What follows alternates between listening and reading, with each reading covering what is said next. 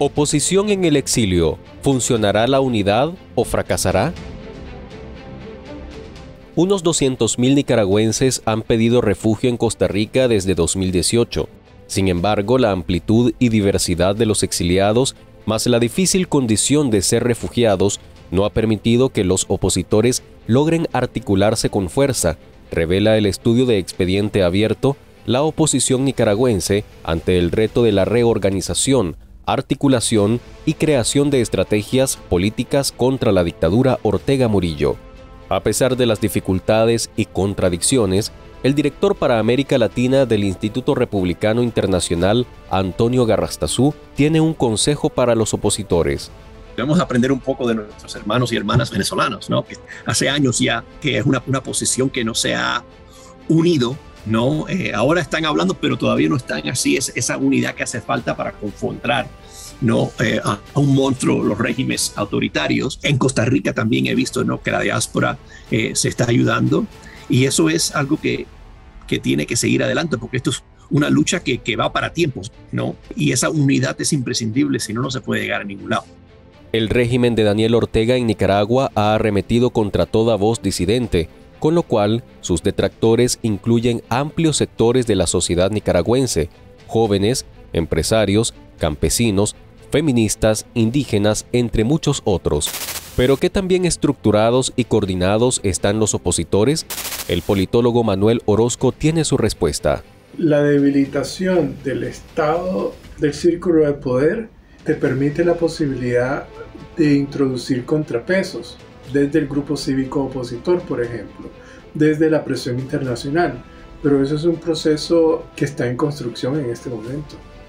El estudio de expediente abierto enfatiza que los exiliados se encuentran en condiciones de subsistencia, pero también deben reorganizar su trabajo político desde el exterior, con muchas dificultades, así señalan activistas como Luciano García, Yaritza Mairena y Juan Diego Barberena. Han bajado la tensión. Obviamente las organizaciones políticas, sobre todo, puedo hablar de C por L, pues obviamente sus estructuras fueron fuertemente diezmadas y, le quitaron su personalidad jurídica. Pero hay otras estructuras también, como la UNAP, que también quedó muy debilitada, en que esas dos estructuras, junto con C por L, con el movimiento campesino, pues obviamente al tener su liderazgo preso, los que pudieron salir, pues básicamente se han reencontrado aquí en el exilio y hemos estado tratando de tener una comunicación con ellos. Siempre estamos como cayendo en el error de juntarnos con las personas que están de acuerdo con nosotros y no tenemos estos diálogos más allá de esas cosas en común que tenemos y eso no, no lleva a construir una concertación, simplemente llega a repetir lo mismo que nos venimos diciendo entre nosotros mismos.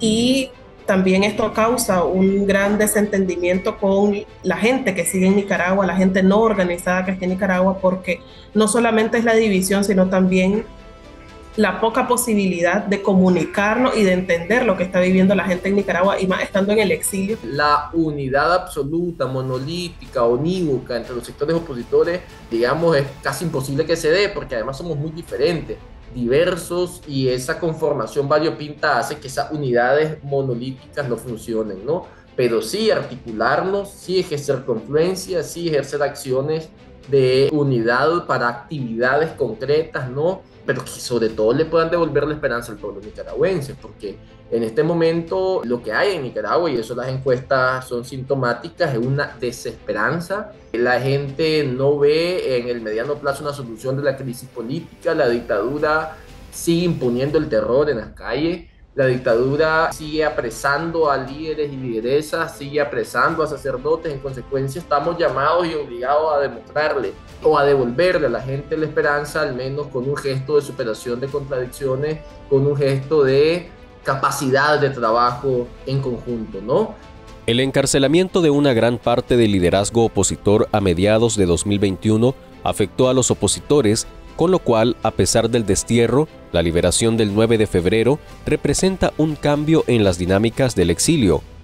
Expediente Abierto concluye su investigación con entrevistas a tres ex candidatos presidenciales que proponen algunos pasos a seguir a las fuerzas cívicas Estos son Medardo Mairena, Juan Sebastián Chamorro y Félix Maradiaga. Creo que aquí lo que hemos tratado de concluir es que las distintas organizaciones en su propia demanda obviamente no se van a unir a otra organización. Vamos a hacer son alianzas estratégicas para poder luchar juntos, ¿verdad? Cada quien su trinchera, ¿verdad? Es decir, que podemos hacer cosas juntos, alianza estratégica, que es lo que estamos tratando de hacer ante las instancias que en este momento eh, nos están escuchando, que en este momento nos han abierto las puertas para poder denunciar, para nos, poder nosotros demandar justicia y democracia, que es lo que queremos en nuestra querida patria. Aquí el problema no es lo que diga un opositor o lo que diga otro opositor. El problema aquí fundamentalmente es que aquí han asesinado gente, han desterrado gente, han exiliado gente, han reprimido gente, lo continúan haciendo, lo continuarán haciendo. Y eh, si tenemos como objetivo principal cambiar esa situación, creo que nos va a ayudar muchísimo a encontrar formas de cómo, cómo salir de esta, de esta dictadura. Sí, hay muchas acciones, se está trabajando, probablemente hay que avanzar más en darle estructura, en darle una forma mucho más visible hacia el exterior para que el ciudadano nicaragüense que desea tener esa esperanza de unidad conozca lo que estamos haciendo. Se está consolidando una propuesta de oposición sobre una estrategia clara.